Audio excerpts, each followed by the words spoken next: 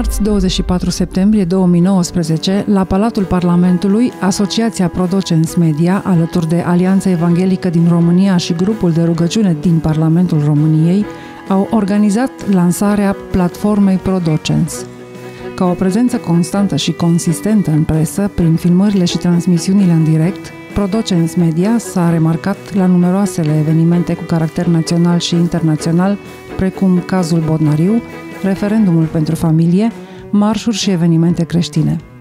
Lansarea platformei Prodocens a avut loc într-un cadru plăcut, cu muzică de calitate, unde mai multe personalități au avut discursuri de încurajare pentru a se implica și a păstra valorile creștine așa cum sunt ele prezentate în Sfintele Scripturi.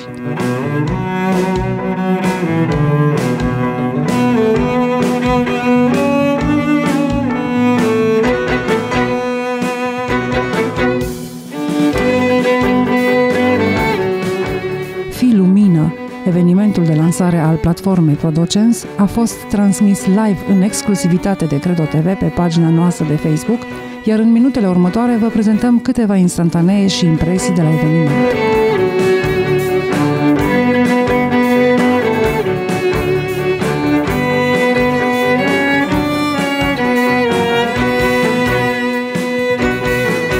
Nu știu cât dumneavoastră v-ați gândit de ce Producens Media se numește Producens greu de pronunțat, greu de înțeles, dar noi încercăm să spunem pro-docens, pentru învățătură, pentru cuvânt.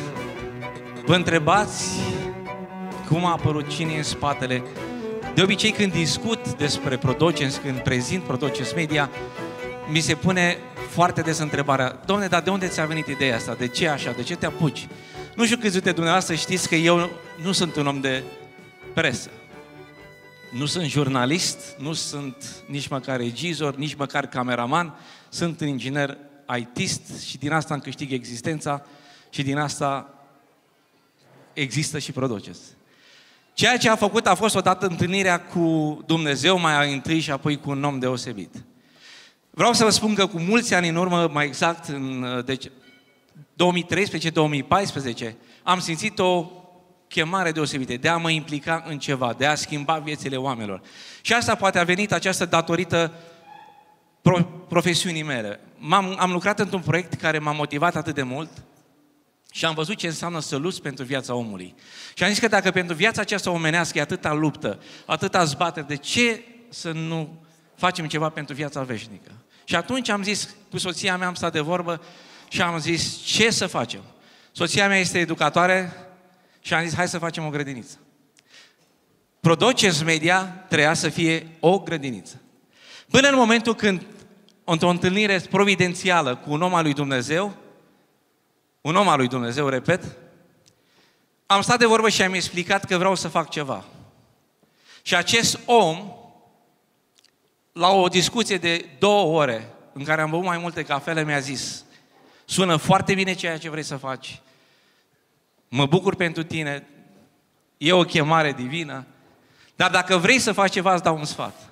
Investește în media. Fă ceva pentru mass media creștină.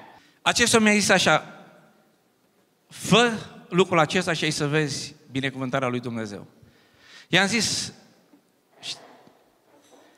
știi că n-am nicio legătură, nu știu nimic din ce se întâmplă în mass media, nu știu ce înseamnă să scriu un articol, să iei un interviu. Și el mi-a zis așa, Cătălin, dacă Dumnezeu te-a chemat să fii locomotivă, El îți va da și șinele de tren, și oamenii, și vagoanele, și tot ce ai nevoie ca să duci lucrul acesta. Cuvintele acestea aparțin lui Cristi Țepeș. Domnului și fratelui nostru Cristi Țepești. În copilărie sau în tinerețe, nici nu știu câți au visat dintre cei din jurul meu că va veni o vreme când se va putea face mass media creștină în România. Jurnalismul era o formă dedicată de mercenariat. Am fost uh, inginer, dar am fost un inginer uh, făcut, iar nu născut. N-am visat tranzistor niciodată și când uh, s-a produs această schimbare în 89, am zis să nu mai pierd timpul cu ingineria. Imediat după Revoluție s-a înființat redacția Viața Spirituală la televiziunea română și mulți am visat că se schimbă lumea și eu care aveam viața schimbată de Biblie am zis că probabil acum este ceasul ca și alții să o afle, să o cunoască, să o citească. Eu cred că în orice loc ne pune Dumnezeu, ne-a trimis la un trib să învățăm limba acelui trib. În cazul meu este tribul jurnaliștilor și colegii noștri au și rănile lor, frustrările lor, uh, disperările lor, întrebările lor. Noi nu cred că trebuie să ne vedem înconjurați numai decât de inamici, ci de posibil frați. Așa cum spunea la un moment dat într-o poezie Ioanid, azi sunt străini, mâini poate frați. Cristi a avut dreptate. Dumnezeu a avut grijă de tot ce a însemnat oameni, echipamente, resurse și cu siguranță va avea și de acum încolo. Ne-ați văzut în multe proiecte, ne-ați văzut în cazul familiei Bodnariu, ne-ați văzut la referendum, Coaliția pentru Familie. Foarte multe materiale, majoritatea materialelor au fost create de noi. Dacă să-i vedeți pe colegii mei, să știți că lucrez cu ei de când erau elevi de liceu. Astăzi sunt oameni absolvenți și poate cea mai mare investiție a Productions Media nu sunt nici echipamentele, nici materialele pe care ci sunt oamenii. Platforma Productions astăzi vrea să investească în continuare în oameni. Și asta vrem să vă demonstrăm și vrem să vă arătăm să fiți alături de noi.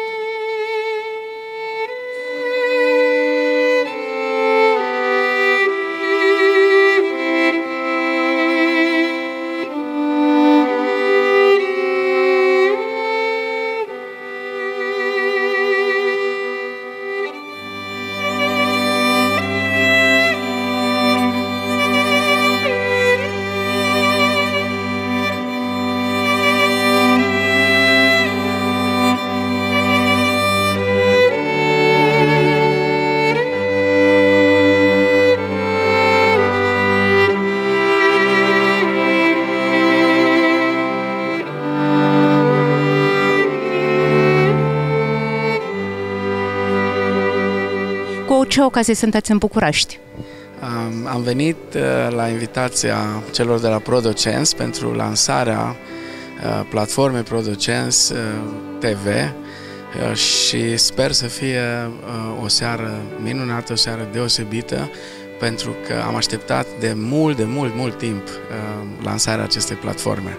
Suntem în București să împărtășim bucuria cu domnul Cătălin și cu toată echipa cu lansarea acestei platforme Pro Valori, platformă media care își propune pe lângă celelalte lucruri educative să pună accentul pe promovarea valorilor creștine.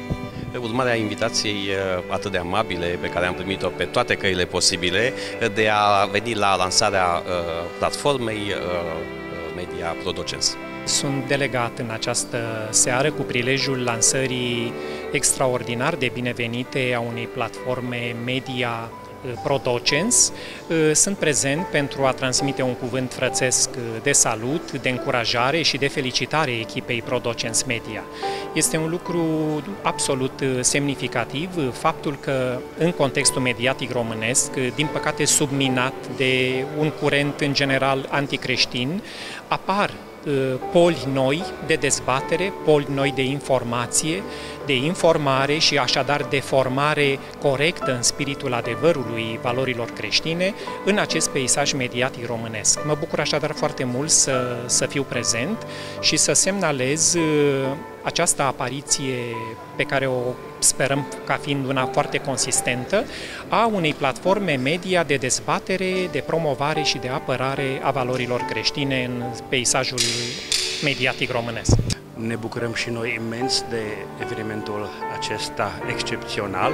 Am auzit din partea fraților baptiști români că va fi lansarea televiziunii Prodocenți și credem și noi foarte tare că uh, mesajul Evangheliei și prin uh, televiziune este foarte, foarte important și în țara noastră și ne bucurăm imens de evenimentul acesta. Am fost invitat de prietenul și colegul meu Cătălin Vasile uh, cu ocazia lansării acestei platforme Prodecens, Prodocens și uh, mă bucur să fiu astăzi alături de o distinsă audiență, de distinși invitați la un eveniment care este în beneficiu oricărui român. Asta pentru că avem nevoie de platforme care promovează adevărul și transmite informația așa cum este ea.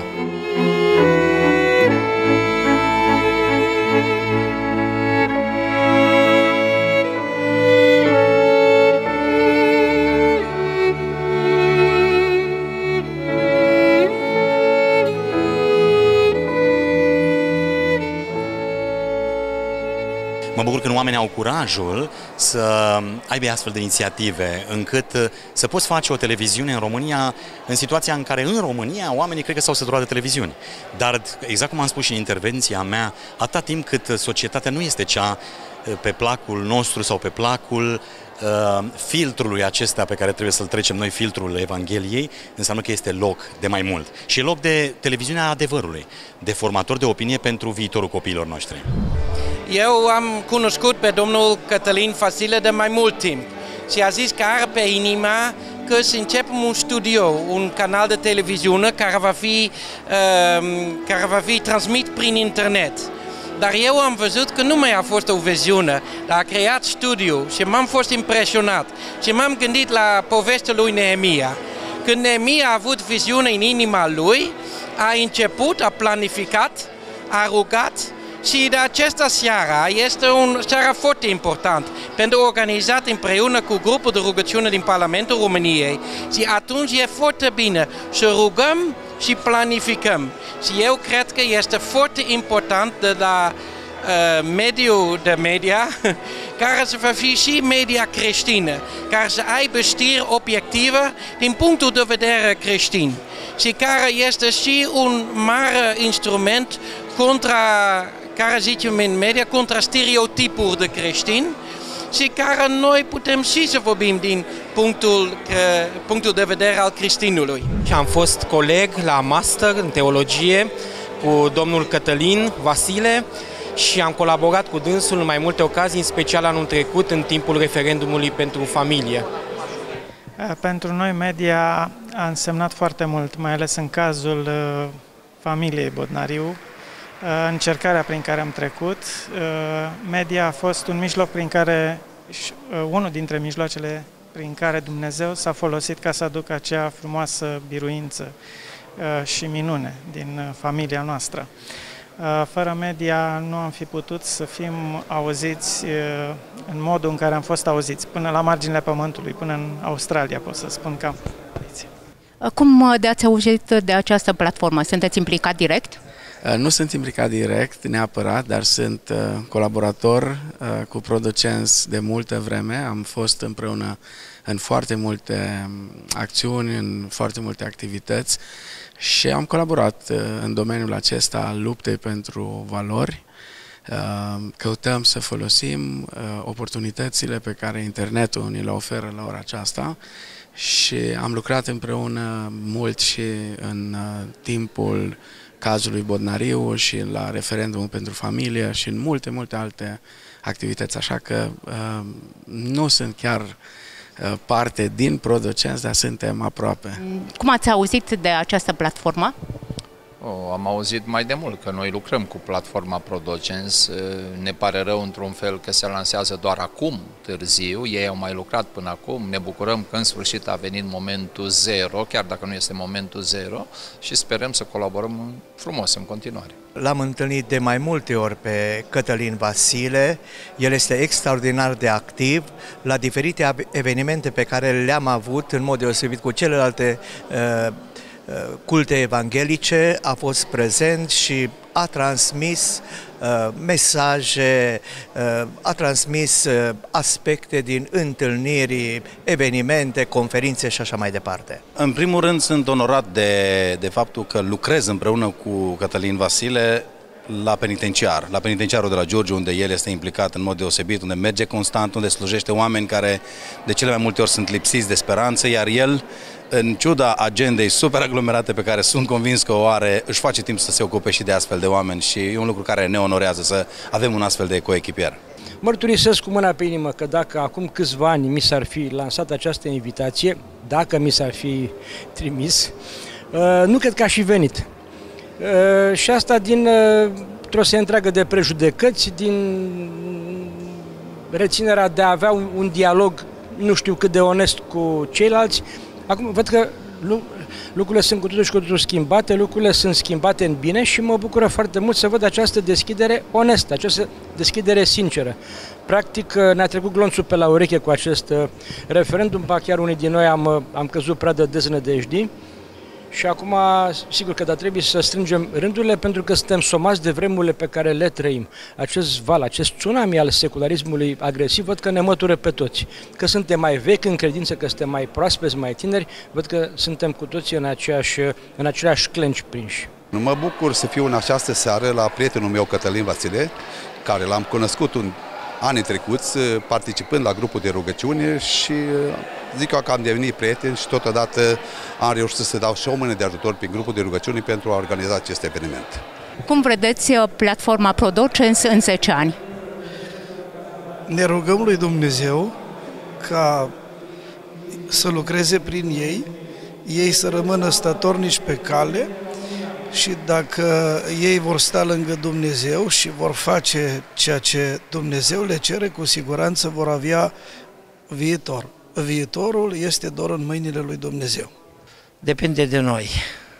A luat-o într-o direcție bună, dar trebuie susținere pe toate planurile, susținere morală, susținere financiară, susținere în rugăciune și oameni de acțiune. Eu cred că România are suficient oameni care să fie alături de această platformă pentru promovarea valorilor și pentru a lupta pentru ele. Încrederea oamenilor, nu doar a credincioșilor evanghelici, încrederea românilor în uh, platforma Media Producens peste 10 ani să fie la o cotă mult mai înaltă peste un timp uh, sunt convins că această platformă se va așeza în cadrul conștiinței publice și creștine ca o realitate media extrem de corectă și de echilibrată. Poate ajunge foarte departe, uh, depinde, bineînțeles, de resursele care sunt alocate, uh, și de oamenii care sunt implicați, că până la urmă omul sfințește locul.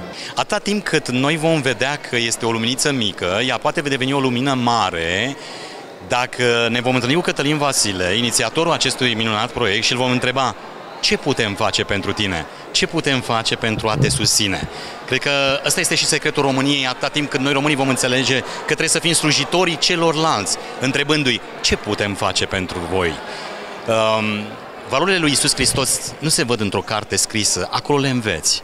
Valorile se văd prin trăirea noastră, prin compasiune, prin dragoste, dar mai ales prin slujire. Dacă El va fi întrebat ce putem face pentru tine, sigur că se vor întâmpla lucruri profunde în țara noastră. În 10 ani, sper, așa cum l-am văzut pe El, atât de curajos și de perseverent, Sper că în 10 ani, ca societatea românească să fie ast- să ajungă, dar nu în 10 ani, eu îmi doresc mult mai repede. Eu sunt un tip optimist și uh, încrezător că lucrurile se pot rezolva mult mai repede și să avem mass media să poată să transmită un mesaj în pentru poporul ăsta român ca o educație, să nu fie manipulare. Bisericile să poate să înțeleagă că rolul lor este mult mai mare pentru a se implica în zona asta de politică, administrație și de educație.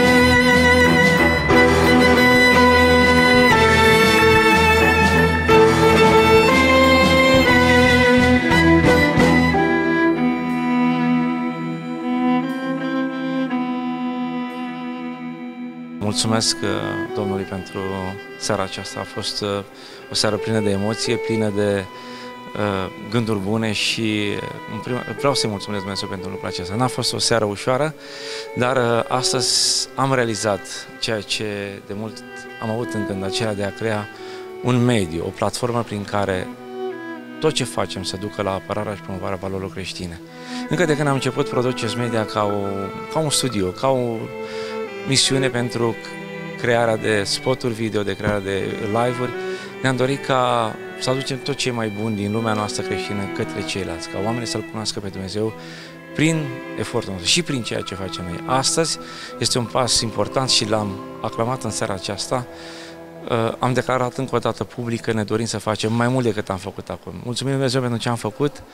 Știm că putem face și vrem să facem mai mult, de aceea a fost o seară extraordinară. Nu mă așteptam la atâta lume, la atâta susținere, la atâta încurajare uh, și asta se datorează în primul rând lui Dumnezeu care ne-a strâns în jurul nostru mulți oameni, cu mulți oameni, dar și, uh, să spunem, dorinței celorlalți, a noastră și a celorlalți, de a merge împreună, de a fi o echipă și a duce mai departe valorile creștine. O întrebare foarte importantă este care este secretul um, care îl ai de ai putut uni așa de mulți oameni din diferite confesiuni religioase? În primul rând, am demonstrat de-a lungul timpului că suntem uh, oameni onești, ne dorim, nu dorim altceva decât să ducem mai departe lumina care vine de la Dumnezeu. Uh, nu facem pentru noi, am pus totul la dispoziție, m-am pus la Dumnezeu cu tot ce sunt și cu tot ce am și asta pare că a fost recunoscută și cei din jur. Asta înseamnă inclusiv de confesiune, inclusiv de biserica din care fac parte. Cei pe care ați văzut în seara aceasta au văzut în, în noi și în mine și în echipă, în familie, acea dorință de a face ceva în mod sincer. Și cred că asta a, a adunat pe toată lumea. Hai să vedem uh, planul de viitor. Uh, trecutul a fost, prezentul este, dar viitorul. Cum vezi uh, platforma Producens în 10 ani? În 10 ani ne dorim ca să existăm dacă Domnul va mai gândi aceste vremuri să meargă până peste 10 ani, dar am vrea în primul să devenim o școală. Alții să nu mai fim noi la cârma acestei lucrări, ci alții să ne ia locul și din potrivă să fie cât mai puternici, cât mai pe înțelesul poporului. Și mm, am vrea ca noi, în primul rând, să fim o școală pentru ceilalți. Am vrea ca peste 10 ani copiii noștri, nepoții noștri să fie cei care vor duce mai departe Evanghelia și atunci vom fi mulțumiți.